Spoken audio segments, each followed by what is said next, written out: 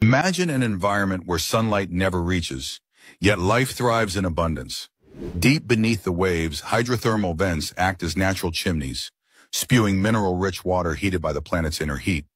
Here, instead of sunlight, life depends on chemical energy. Specialized bacteria harness hydrogen sulfide from these vents, turning it into food through a process called chemosynthesis. These microscopic powerhouses form the foundation of a complex food web that supports a variety of unique creatures. Giant tube worms, which lack a mouth or digestive system, rely entirely on symbiotic bacteria living inside them for nourishment.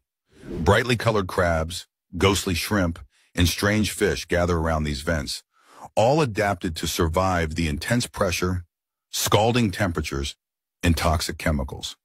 What's truly remarkable is that these ecosystems are entirely independent of the sun, defying what scientists once thought necessary for life. The discovery of hydrothermal vent communities has revolutionized our understanding of biology, revealing that even in the most extreme and unlikely places, life not only exists but flourishes in extraordinary ways.